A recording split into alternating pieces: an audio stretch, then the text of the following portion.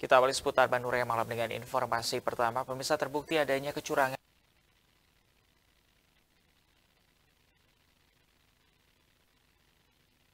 suara. PSU digelar setelah MK mengabulkan pemohon dalam sengketa pileg DPRD Cianjur. Antusias warga dalam pemungutan suara ulang pemilihan legislatif 2024 berlangsung di TPS 15 Desa Mentengsari, Kecamatan Cikalongkulon, Kabupaten Cianjur siang tadi. Warga sejak pagi sudah memadati tempat pendaftaran di TPS. Dimulai pukul 7 pagi dan tutup pukul 1 siang. Dari data DPT yang ada, sebanyak 210 hak pilih tingkat partisipasi mencapai 85 persen. Dengan pengamanan ekstra ketat dari pihak TNI Polri, pemungutan suara ulang berlangsung aman dan tertib.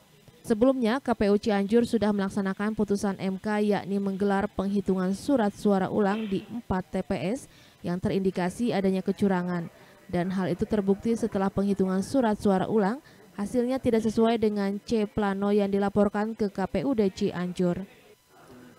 Selain itu, PSU ini digelar ditemukannya adanya pidana pemilu yang dilakukan Oknum Kades Menteng Sari Somantri yang telah difonis Pengadilan Negeri Cianjur 9 bulan penjara karena terbukti mencoblos puluhan surat suara caleg atas nama HG demi handphone iPhone Pro Max. Yang videonya sempat viral dan merugikan suara caleg lainnya sehingga partisipasi suara masyarakat menjadi tidak bernilai. Kemudian salah satu caleg DPRD Cianjur mengajukan permohonan gugatan ke MK tentang sengketa pileg dan MK mengabulkan gugatan pemohon. Alhamdulillah kita mulai tadi uh, PSU dari jam 7 sampai jam 1 kemudian uh, dilanjut uh, uh, penghitungan uh, suara dan saat ini uh, sudah beres tinggal uh, tangan dari semua saksi.